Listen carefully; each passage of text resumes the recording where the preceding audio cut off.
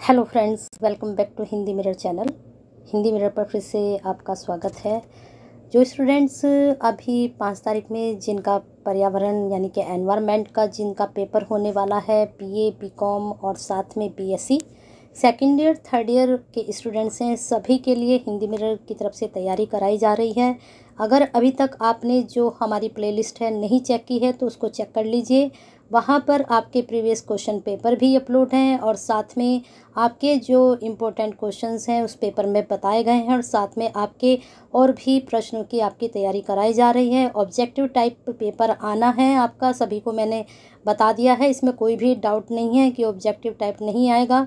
आपका paper objective type ही आएगा तो तैयारी करिए अच्छे से और हिंदी मिनर की तरफ़ से बहुत आपकी हेल्प हो रही है। तो वीडियोस के लिए एक लाइक तो बनता है वीडियो शुरू होने से पहले और एक शेयर भी बनता है, क्योंकि आप शेयर करते हैं तो आप किसी की केयर करते हैं। ठीक है तो आप सेकेंड ईयर थर्ड ईयर जितने भी स्टूडेंट एक दूसरे को जानते हैं, सबको ये वीडियो शेयर कीजिए, जिससे सभी की हेल्प हो सके और एक बेनिफिशियल वीडियो सभी स्टूडेंट तक पहुँच सके। और हिंदी मिरर से अभी तक अभी तक नहीं जुड़े हैं सब्सक्राइब नहीं किया है बेल आइकन हिट नहीं किया है तो कर लीजिए, क्योंकि अभी आठ ट्वेंटी फाइव हो चुकी है। अब आपके पास सिर्फ़ आठ या नौ दिन बचे हैं तैयारी के लिए। तब तक आपकी बहुत अच्छे से तैयारी करा दी जाएगी तो बने रहना है। और यहाँ पर जो क्वेश्चंस हम लेकर आए हैं, आज आपके लिए बहुत ही महत्वपूर्ण ये टॉपिक हैं। एक तो आपका वन संसाधन से संबंधित है, जल संसाधन से संबंधित है और ऊर्जा संसाधन से संबंधित है और यहाँ से तीनों टॉपिक से हंड्रेड परसेंट क्वेश्चन आपके बनेंगे। और जो क्वेश्चन जितने भी ये क्वेश्चन हैं, इसमें मैं आपको बताते भी चलूँगी कि कौन सा क्वेश्चन आपके लिए बहुत ही महत्वपूर्ण है, जो आपका हंड्रेड और नाइन्टी नाइन में जा सकता है। चलिए देखते हैं पहला प्रश्न। विश्व में पर्यावरण अवनयन एक गंभीर समस्या है। इस समस्या का प्रमुख कारण है मिट्टी एवं वनों का अवनयन। अब यहाँ पर हमें देखना है कि ये जो दो कथन दिए गए हैं, दोनों ही कथन सही हैं या फिर एक ही कथन सही है या फिर दोनों गलत हैं? तो यहाँ पर आपको देखना है। तो सीधा सीधा इसका हम आपको आंसर बता देते हैं कि इसका डी जाएगा। इसमें ए सत्य है, परंतु आर जो है आंशिक रूप से ही सत्य है। ठीक है, दोनों ही सत्य हैं, लेकिन हम इसको हंड्रेड परसेंट नहीं कह कह सकते कि इस समस्या का प्रमुख कारण मिट्टी व वनों का अवनयन ही है। और भी बहुत सी चीज़ें हैं जिससे पर्यावरण अवनयन एक समस्या बन रहा है। तो चलिए आगे चलते हैं। निवर्णीकरण से होता है मृदा प्रदन प्राकृतिक विनाश, सूखा या फिर ये सभी। तो निर्वनीकरण से क्या हो सकता है, ये आपको बिल्कुल, अगर आप आंसर सोच रहे हैं इसमें भी डी तो बिल्कुल सही है, ये सभी कारण हैं। चिपको आंदोलन का संबंध है, ये आपका हंड्रेड परसेंट क्वेश्चन जाएगा। अब ये जो प्रश्न है, ज़रूरी नहीं आपसे यही ऑप्शन पूछे जाए, और भी कुछ पूछा जा सकता है तो आपको पता होना चाहिए कि निवर्णीकरण के क्या कारण हैं। यहाँ पर अब चिपको आंदोलन से संबंधित था किससे जल प्रदूषण से, वन से, मृदा से, ध्वनि से, बिल्कुल क्वेश्चन पढ़ते ही आपको आंसर समझ में आ जाना चाहिए था कि वन संरक्षण से संबंधित था। चिपको आंदोलन को बहुत अच्छे से पढ़ लीजिए, यहाँ से प्रश्न हंड्रेड परसेंट बनेगा और ये प्रश्न भी आपका हंड्रेड परसेंट बनेगा। पाँच जून, सोलह सितंबर, इक्कीस मार्च या फिर तीस अक्टूबर विश्व वन दिवस कब मनाया जाता है? तो फोर्थ का अगर आपने सोचना है बी इक्कीस मार्च को तो बिल्कुल सही है। चलिए आगे चलते हैं। चिपको आंदोलन संबंधित है। किससे? सुंदरलाल बहुगुणा से, इंदिरा गांधी, मेधा पाटेकर या उपरोक्त में से कोई नहीं। तो कोई नहीं कि तो मैंने आपको बोल ही रखा है कि इसको एलिमिनेट कर देते हैं। मोस्टली तो यहाँ पर अगर आप पाँचवें का आंसर सोच रहे हैं ए तो बिल्कुल सही है सुंदरलाल बहुगुणा बहुत अच्छे, अगर जो इसने आंसर दे रहे हैं सब तो इसका मतलब उनकी तैयारी हो चुकी है। चलिए पास होना बहुत ज़रूरी है इसमें परसेंटेज मैटर नहीं करती इसमें, आपका पास होना बहुत ज़रूरी है। थर्टी फाइव नंबर आपके लाने ज़रूरी है, अगर पेपर जो है फिफ्टी क्वेश्चंस का आता है तो हंड्रेड बनेगा हंड्रेड का आता है तो हंड्रेड का ही बनेगा, ठीक है? तो आपको हंड्रेड में से थर्टी फाइव अबाउ लाने ही होते हैं। चलिए नेक्स्ट क्वेश्चन निम्नलिखित में से जैवीय पारिस्थितिक तंत्र के संरक्षण तथा प्रबंधन की दिशा में कदम नहीं है। सामाजिक वानिकी राष्ट्रीय उद्यान, जल विद्युत परियोजनाएँ वन्य जीव अभ्यारण्य।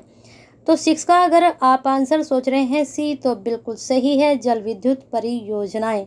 नेक्स्ट हम चलते हैं क्वेश्चन आपका सेवन किसी भी क्षेत्र के जल विभाजक क्षेत्र में वनीकरण को सर्वोच्च प्राथमिकता प्रदान करनी चाहिए, क्योंकि मनोरंजन के लिए क्षेत्र प्राप्त होता है। वन आधारित उद्योगों के लिए कच्चे माल की आपूर्ति होती है, नदियों का जल प्रवाह नियंत्रित होता है, पशुपालन कार्य उत्पन्न संपन्नता में वृद्धि होती है। क्यों प्राथमिकता देनी चाहिए, ये इसमें बताना है।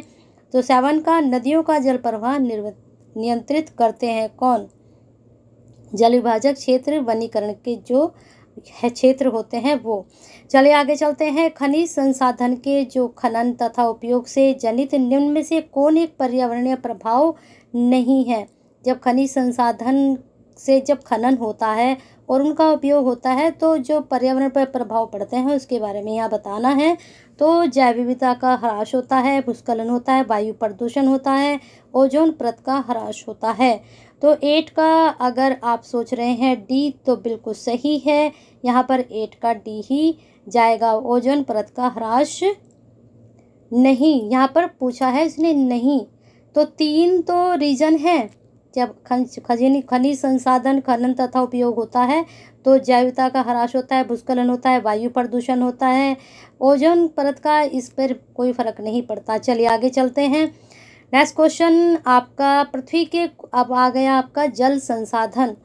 पृथ्वी के कुल जल आयतन में भूगर्भिक जल का प्रतिशत योगदान है। जल्दी से इसका आंसर सोच लीजिए, क्या आप सोच रहे हैं इसका आंसर तो इसका अगर आपने आंसर सोचा है, सी ज़ीरो पॉइंट सिक्स तो बिल्कुल सही है।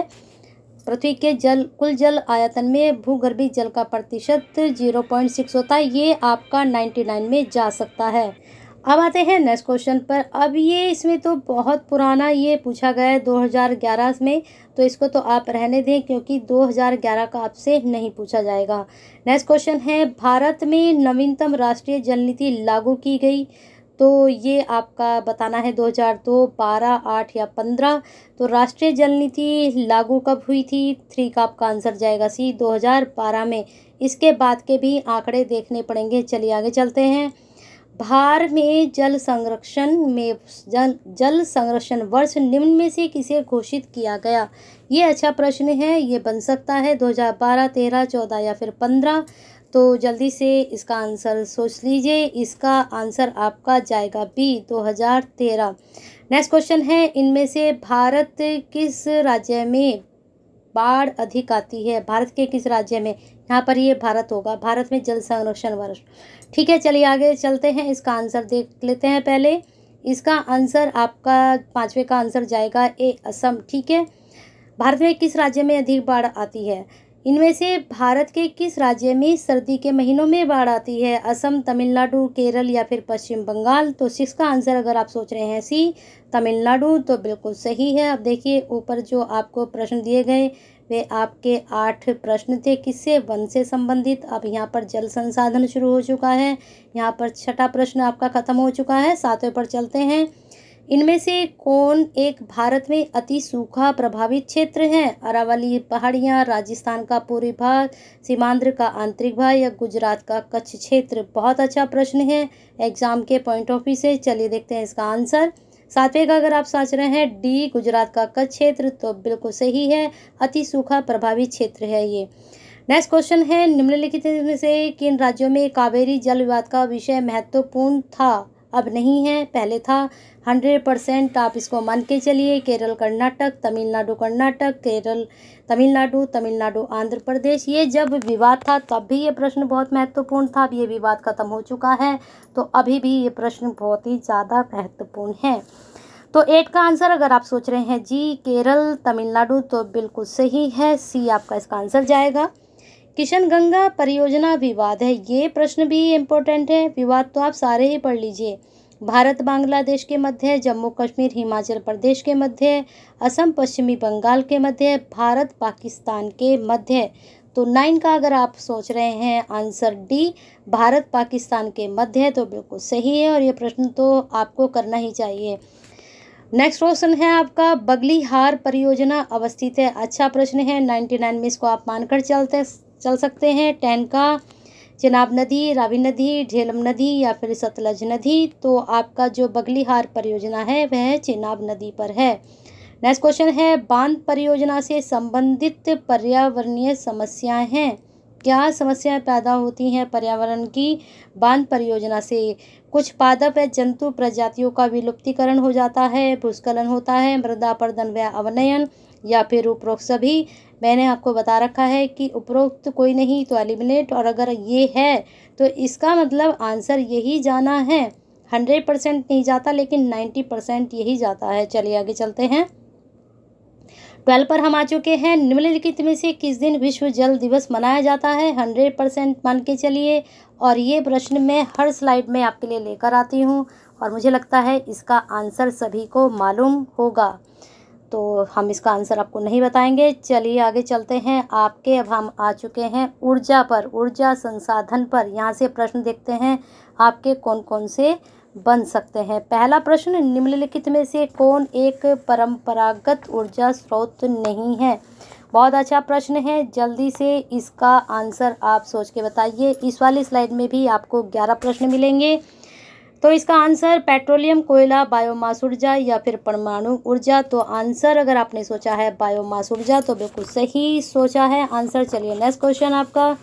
निम्नलिखित में से कौन एक गैर परंपरागत ऊर्जा स्रोत नहीं है? ऑप्शन देखते हैं इसके क्या जा रहे हैं। परमाणु ऊर्जा, सौर ऊर्जा या फिर ज्वारीय ऊर्जा या फिर पवन ऊर्जा। तो दूसरे का अगर आपने सोचा है आंसर परमाणु ऊर्जा तो बिल्कुल सही है, ठीक है? आगे चलते हैं। विश्व में बढ़ती ऊर्जा मांग के लिए उत्तरदायी कारक हैं। क्यों ऊर्जा की मांग इतनी बढ़ रही है? तीव्र जनसंख्या वृद्धि, संपन्न जीवन शैली आर्थिक विकास या फिर उपरोक्त सभी? तो अभी जस्ट मैंने आपको बताया था कि अगर उपरोक्त सभी आता है तो वही माना जाता है। देखिए, जनसंख्या वृद्धि हो रही है, ऊर्जा की मांग बढ़ रही है। संपन्न जीवन शैली से समझ रहे हैं कि जैसे सभी घरों में एसी लग रहे हैं, एक घर में चार चार हैं, बहुत कूलर, पंखे तो ये ऊर्जा की मांग बढ़ी रही है और आजकल लैपटॉप, फ़ोन सभी ऊर्जा से ही आपके चार्ज होते हैं। तो इसलिए ये आर्थिक विकास हो रहा है तो इस वजह से इसकी मांग बढ़ रही है। चले आगे चलते हैं। भारत में ज्वारीय ऊर्जा का उत्पादन किया जा रहा है। कच्छ क्षेत्र में, सुंदरवन डेल्टा क्षेत्र में, गोदावरी डेल्टा क्षेत्र में या फिर महानदी डेल्टाई क्षेत्र में? तो फोर का अगर आप आंसर सोच के रखे हैं, बताइए जल्दी से कौन सा सोचा है? अगर ए कच्छ क्षेत्र में तो बिल्कुल सही है। नेक्स्ट क्वेश्चन विश्व की सबसे बड़ी सौर वाष्प प्रणाली की स्थापना निम्न में से भारत के किस क्षेत्र में की गई है? सीमांध्र में, तमिलनाडु, कर्नाटक, महाराष्ट्र? ये वाला प्रश्न भी बहुत महत्वपूर्ण है, ये भी और ये आपका जो है नॉलेज बेस बन सकता है और ये प्रश्न आपसे पूछा जा सकता है। ज़रूरी नहीं, यहाँ पर वही ऑप्शन पूछे जाएँ। प्रश्न यही पूछा जा सकता है ऑप्शन कुछ और हो सकते हैं। नेक्स्ट इसका आंसर आप क्या सोच रहे हैं? हमारा फाइव का आंसर अगर आपने सोच लिया है ए सीमांध्र तो बिल्कुल सही है। लगा लीजिए इसको। चलिए आगे चलते हैं। बायोगैस एक घुलनशील गैस जो प्रमुख रूप से देखती है। मीथेन व ऑक्सीजन एथिनॉल व कार्बन डाइऑक्साइड, मीथेन व कार्बन डाइऑक्साइड, एथिनॉल व ऑक्सीजन। तो सिक्स का आंसर अगर आपने